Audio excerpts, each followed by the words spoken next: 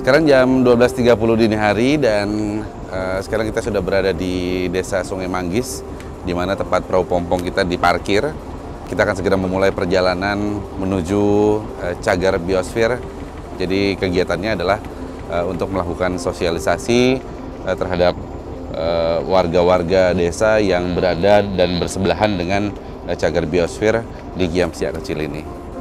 Perjalanan ini memakan waktu sekitar 10 jam. Baik sahabat Arasari bersama saya Tita Suryawan, mari kita ikuti perjalanannya.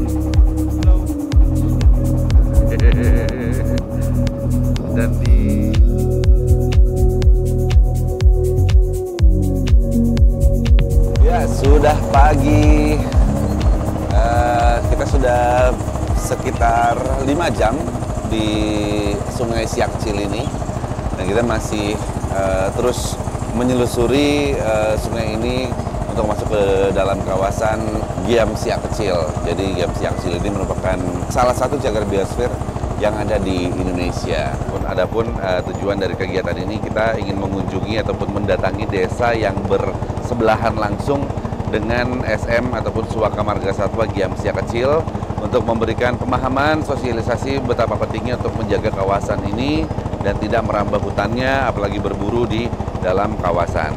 Ya kalau gitu kita lanjutkan lagi perjalanannya. Masih lima jam lagi di atas perahu ini jadi mohon bersabar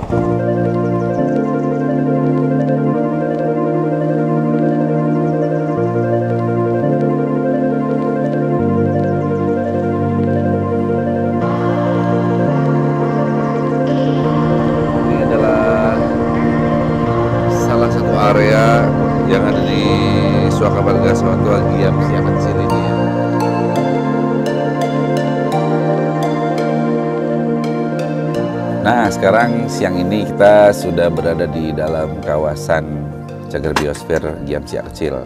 Itu total wilayahnya sekitar 70 ribuan hektar. Apa sih sebetulnya cagar biosfer? Itu sendiri apa gitu. GSK ataupun Giamsia Kecil ini merupakan salah satu dari 10 cagar biosfer yang ada di Indonesia. Nah, itu kan berarti posisinya sangat penting dan Provinsi Riau memegang peranan yang cukup penting dalam hal menjaga uh, lokasi ini.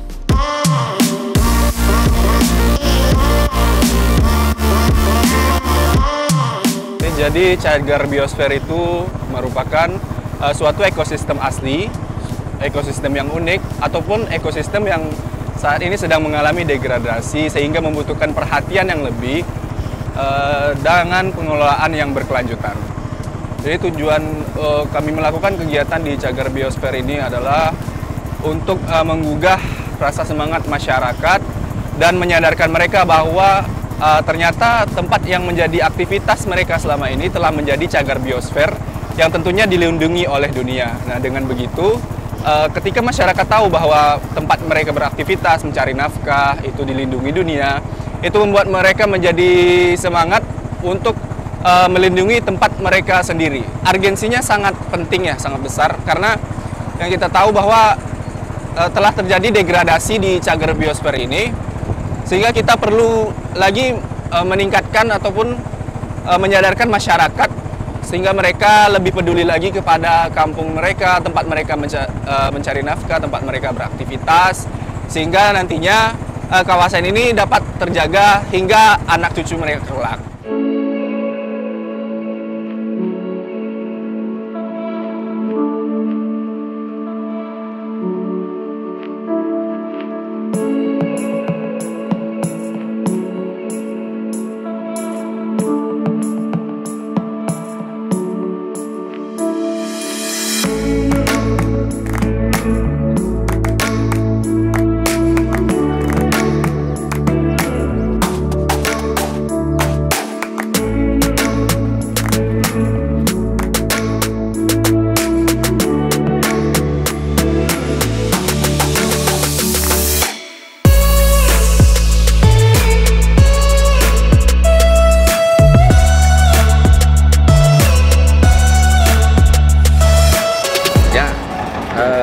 Hari sudah menjelang petang, mendekati malam. Kita akan beristirahat uh, di salah satu pondok nelayan yang ada di uh, Sungai Siak Kecil di pondok ini. Kalau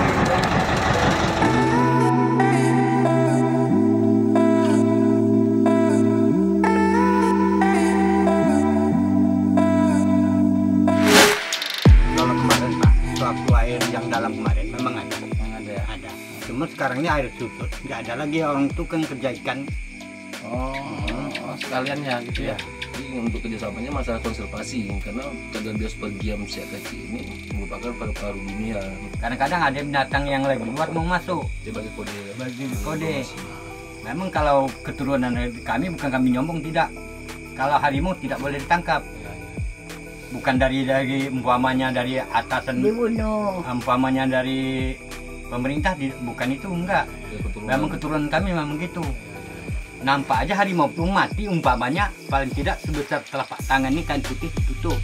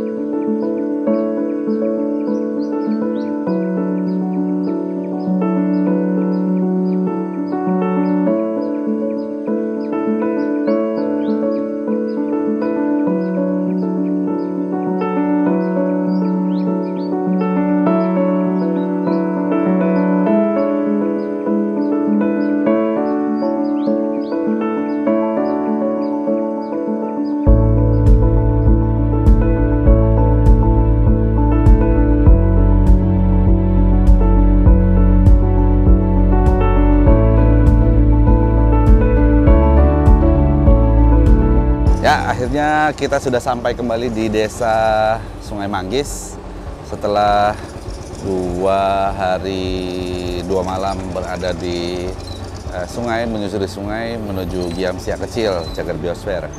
Nah, jadi eh, perjalanan ini mudah-mudahan bisa memberikan pengalaman baru dan juga memberikan manfaat eh, buat eh, seluruh masyarakat yang sempat kita datangin cagar biosfer bahwa hutan kita ini sangat penting keberadaannya eh, tidak hanya untuk satwa, tidak hanya untuk tumbuhan, tapi bahkan untuk kita semua gitu ya. Tentunya terima kasih untuk seluruh tim PKR Arsari. Ini ada Bang Awang, lalu ada Agung, sebelah sana ada eh, Doni, Doni Nuansa, dan ini di belakang ini last but not least beliau ini yang bertugas dan sudah membawa kita ke sana dengan baik dan handal. Ci Amir. Wih, mantap ya. Kami juga ingin mengucapkan terima kasih banyak untuk Balai Besar KSDA Riau beserta jajarannya yang sudah memberikan eh, izin untuk kita masuk ke dalam sana dan, dan melakukan sosialisasi di kesempatan kali ini. Kalau gitu saya Tito Suryawan dari Desa Sungai Manggis mengucapkan terima kasih banyak. Sampai jumpa dalam kesempatan dan salam lestari.